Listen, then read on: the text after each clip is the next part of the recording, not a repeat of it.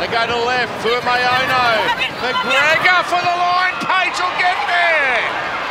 Or did she? Come off. Might have been held up Maddie. underneath. Was just Coming Sergis there, six. Hope no try.